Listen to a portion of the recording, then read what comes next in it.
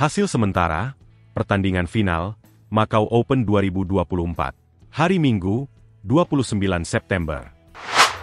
Di babak final ganda putra, Chen Sujun, Liu Yi, berhasil menang atas ganda putra Indonesia, Sabar Karyaman Gutama, Muhammad Reza Pahlevi Isfahani, dengan skor 21-18 dan 21-14 dalam durasi 39 menit. Dengan demikian, Chen Sujun, Liu Yi, berhasil menjadi juara Macau Open 2024. Bagi mereka, gelar Macau Open merupakan gelar pertamanya di tahun ini. Di babak final ganda putri, Li Wenmei, Shang Shuxian, berhasil menang atas ganda putri Chinese Taipei, Xie Peishan, Hung Enzu, dengan skor 25-23, 18-21, dan 22-20, dalam durasi 1 jam 18 menit. Dengan demikian, Li Wenmei, Shang Shuxian, berhasil menjadi juara Macau Open 2024.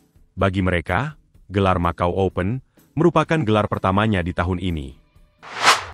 Di babak final tunggal putra, Eng Kalong Angus berhasil menang atas pemain Singapura, Jia Heng Jason Teh, dengan skor 21-19 dan 21-17 dalam durasi 49 menit. Dengan demikian, Eng Kalong Angus berhasil menjadi juara Macau Open 2024. Bagi Eng Kalong Angus, gelar Macau Open kali ini merupakan gelar pertamanya di tahun ini.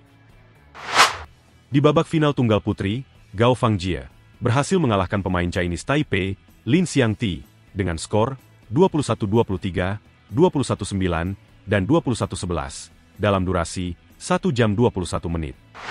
Dengan demikian, Gao Fangjie berhasil menjadi juara Macau Open 2024.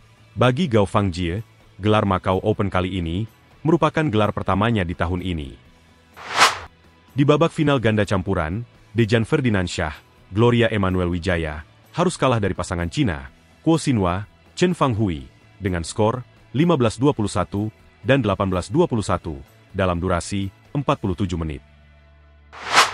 Dengan demikian, Kuo Xinhua, Chen Fanghui, berhasil menjadi juara Macau Open 2024.